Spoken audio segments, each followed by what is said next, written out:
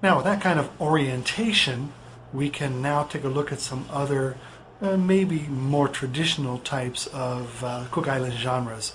The first one we want to look at is the Ura Pa'u, which is a drum dance with no vocals except for spontaneous shouts and, and enthusiasm. And I think you will notice uh, a relationship between this genre and the Tahitian Ote'a dance.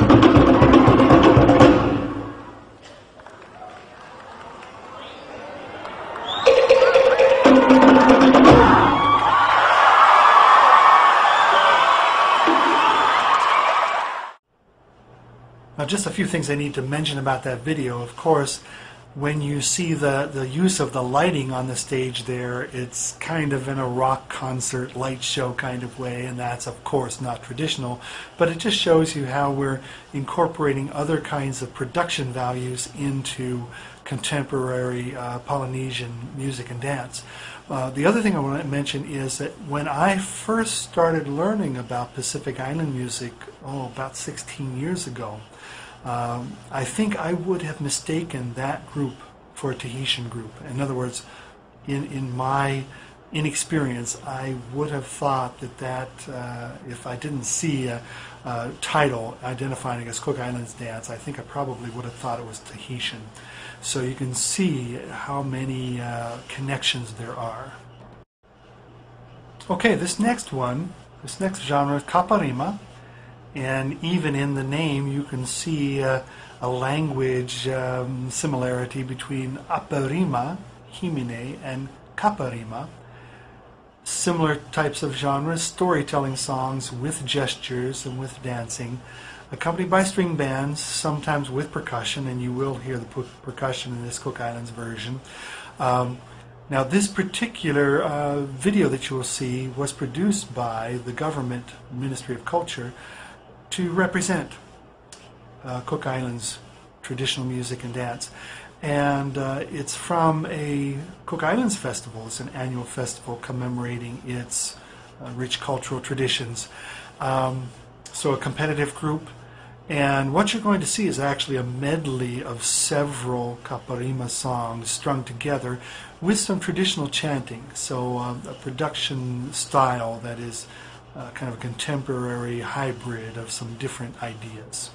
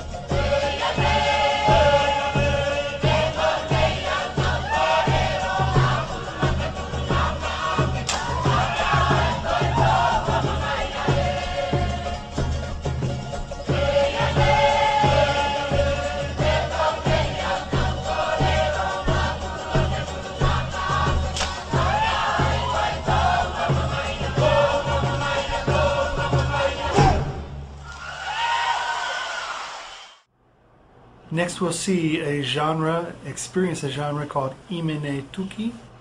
It's a choral genre with strong ties to Christian hymn singing. Uh, it's very similar to a Tahitian genre called Himene Tarava. And so it might have a, a spiritual or biblical message, but not necessarily. Islanders believe that it contains some pre contact elements. So you not only get the uh, relationship to hymn singing, but you get some uh, cultural uh, practices that that probably came even before the Christian missionaries came. One of the things that you'll experience in here is a sense of independence between the men's parts and the women's parts. Uh, they, they fit together very nicely. Uh, they harmonize well, but I think you'll get a sense that it's kind of a back and forth uh, musical ideas. and the men are very, very strong and very energetic. And I find this kind of singing very compelling. Even though I don't understand the words, I can appreciate the emotion that comes through.